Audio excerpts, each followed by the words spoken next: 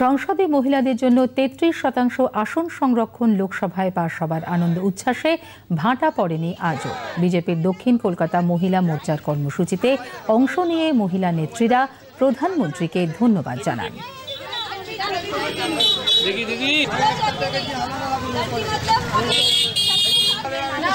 এটা কিন্তু women women reservation বিলের জন্য।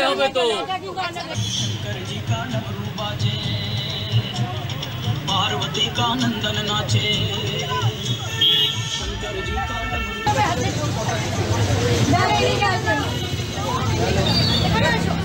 thirty three percent women reservation bill যেটা পাস হলো সেটা আমাদের এই মোদিজির যেটা বোল্ড ডিসিশন সেটাকে আমরা সকল মহিলারা স্বাগত করেছি এবং যেটাকে আমরা বলি যে ওমেন এম্পাওয়ারমেন্ট সেটা যদি সামাজিক এবং ইকোনমিক্যাল স্তরে যদি সঠিকভাবে সেটাকে প্রয়োগ করেছে সেটা সেই এত দৃঢ় একটা যে পদক্ষেপ তার জন্য নরেন্দ্র মোদীজিকে সমস্ত সাধারণ মানুষদের এবং সাধারণ মহিলারা যারা আমরা খেটে খাওয়া মহিলারা, তাদের পক্ষ থেকে অনেক অনেক ধন্যবাদ। আজ আমরা বাংলার নারী হিসাবে কিন্তু গর্বিত মানে গর্ব অনুভব অনুভব করছি এবং মাননীয় প্রধানমন্ত্রীকে ধন্যবাদ জানাচ্ছি যে আমাদের মহিলাদের চিন্তা শক্তিকেও জগৎ সংসারে একটা আসল জায়গা দিয়েছে।